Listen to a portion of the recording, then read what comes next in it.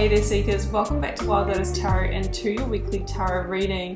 If you're new here, also a very warm welcome to my channel. I focus on messages of awakening, soul ascension and aligning you to your true purpose. In fact, recently I just finished a series of reading around destiny, karma and life purpose, so I will put the playlist up here for you guys as well. Uh, just so that you know, you can find me on Facebook, Instagram and on TikTok. All the links that you need are below the video, including the link to my website should you want to arrange a personal reading for yourself. Don't forget to like, share, comment and subscribe on your way out. I would be forever grateful for that, it really helps me out. I'd just like to wish you a week full of love and magic and without further ado, let's head to your weekly tarot reading. Hi there Virgo, welcome back to Wild Lotus Tarot and to your weekly intuitive reading for April 26th through to May the 2nd. Virgo, let's see what may be on the cards for you. As per usual, getting started here with the Work Your Light Oracle.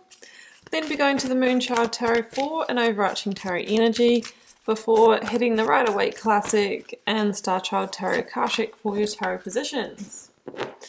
Okay, Virgo, let's see what we've got. Trust the niggle. What is that niggling feeling trying to tell you? So it basically means pay more attention to your intuition and what you're really feeling this week, Virgo, not what you're thinking. So when something's a little bit off, we often get that that feeling in the pit of our stomach, you know, that's trying to sort of alert us to maybe making a more conscious decision. So trust your intuition this week more than usual. Well, I mean, you should always trust it, but you know what I mean. It could be really trying to tell you something or communicate with you. And I've got share your voice. Come out of the cave, persecution, expression. So there might be something you need to speak up about. A communication that you need to have. It could be expressing your feelings for somebody. It could be speaking up about something in the workplace, maybe handing in your resignation. Something that needs to be spoken in order to set the wheels in motion is what I'm hearing here.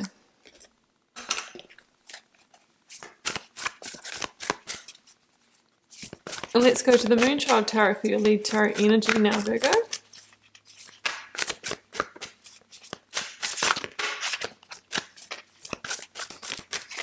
One card.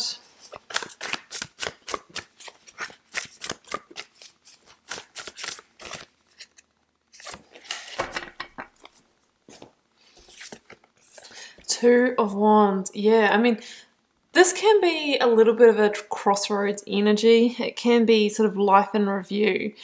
You, you're kind of in the position that you are now and dreaming of potentially making a different move for the future. You're really wanting to move towards your passions, your desires, a deeper calling, a bigger purpose. And we've kind of had that realization, but we're still very much, you know, attached to the situation that we're in as well it's almost like the decision has been made, but there hasn't really been the big actions, the big leap of faith, the blind leaps of faith in order to make this happen. There is a sense here that, you know, life is waiting for you. You know, it's time to get out there, broaden your horizons, ex- expand. If not now, then when, Virgo? How can you live that best life that you truly want? So we will see what direction that goes when we go to the tarot. So beginning with the energy of the recent past. Energies leaving, completing, or transitioning. I'm taking the one that is face down here. High Priestess. Yes. I think um, intuitively you know what, what move you need to make here, Virgo. That it could be sort of trusting that and you kind of wanting the confirmation. Cards are everywhere today. Current or focus energy. There goes your Six of Wands. There's a victory here. We'll get the clarifiers and see what direction it's all going. Outcome. Magician. Beautiful. Can also be about communication and so can the Eight of Wands. So there could be something that you sort of need to speak into, you know, when you sort of speak the words into the reality, this is how the creation process starts. As soon as you speak something like, I'm leaving this relationship. I'm I'm going to do this course of study. It's like it, it becomes it becomes real, and then it's like the universe conspires with you to make it happen. Two of Wands again. Page of Swords. Clarifying the Magician, I have got the Death card. Wow, okay, that's a big energy. Let's get one more for current focus energy. Eight of Pentacles.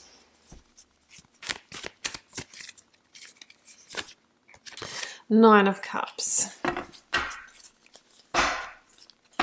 King of Cups at the bottom of the deck.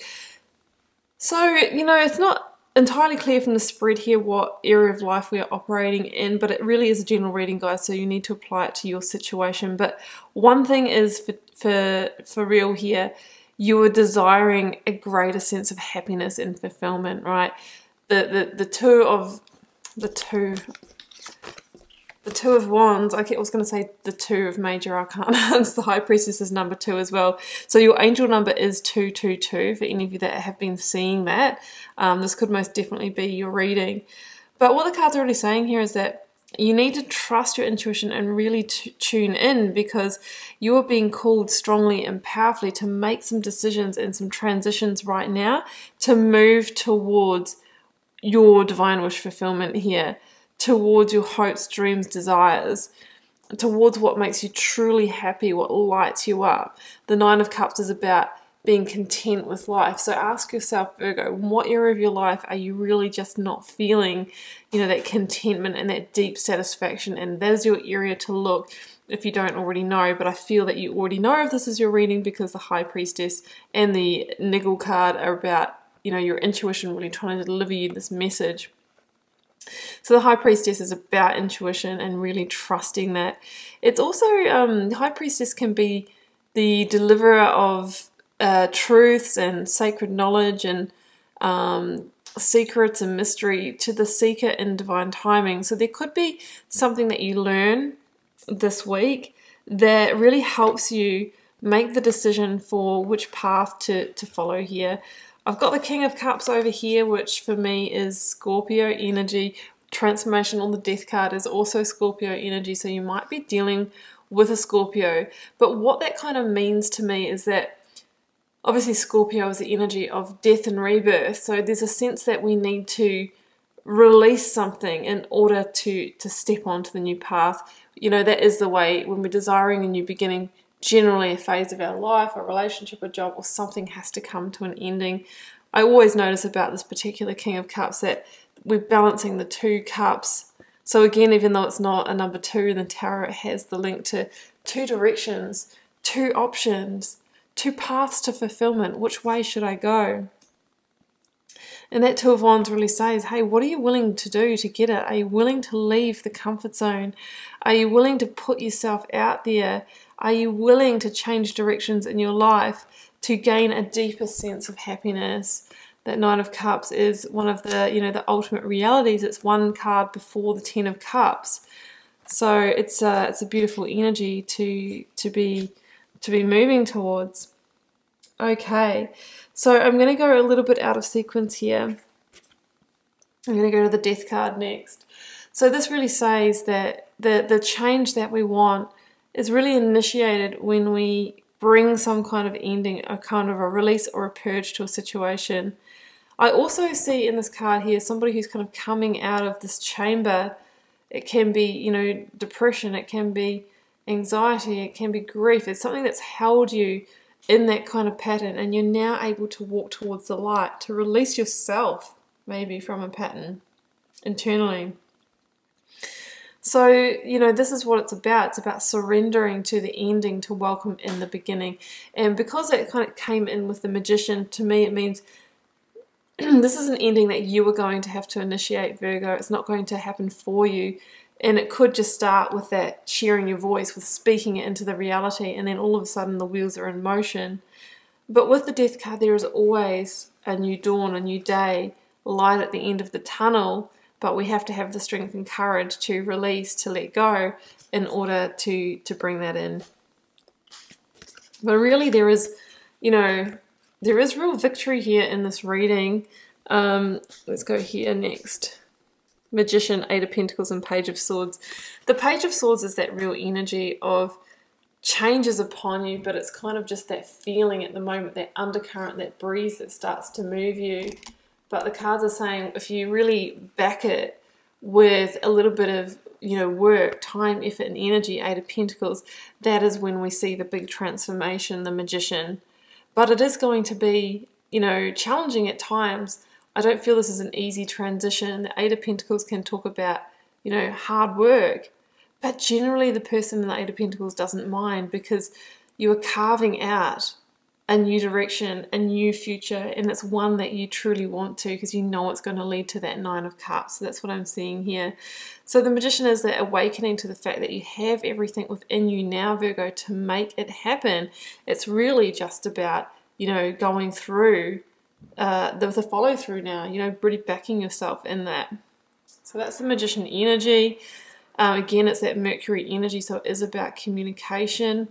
And it also talks about shifting your own energy internally in order to change your external circumstances, your external reality.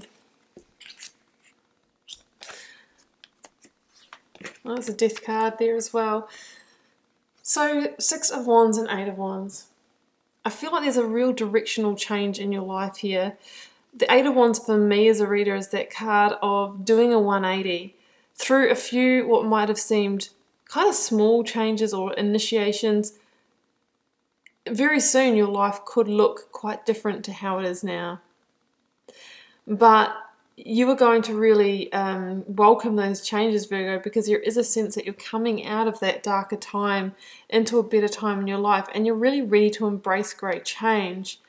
The Eight of Wands can also be a card of communication and messaging. So you might receive a message that really, like I think I said that before with the Nine of Cups, that really says, you know what, I'm grabbing that wand of the future, I'm taking that big bold move and I'm moving on to the new it can be sort of my card of divine intervention as well. It's like this message, uh, whether it comes through your intuition or it's you know something physical through social media or a phone call or something like that. It moves your reality. And the Six of Wands really is that card of victory, guys. It says that this transition, as challenging as it may be, Virgo, holds a victory for you. And you're going to be, you know, looking good, feeling good, higher sense of self confidence, maybe after a more challenging time, um, if you move towards it. So, kind of challenging but beautiful energies there. Virgo, I really do hope that you take those steps to move towards that best life reality. Okay, Virgo, well, that is what I have for you this week, and I do hope you enjoyed this intuitive message. Keeping in mind it is a general reading for the collective, may or may not be for you. Feel free to drop me a message if you're called to share Virgo. I do read them all and I try to respond to them all over there as well. It helps me get to know you guys, connect with your energy, and see what's happening on the collective. Has been a pleasure, Virgo. I will see you back here very soon for another one. Bye for now.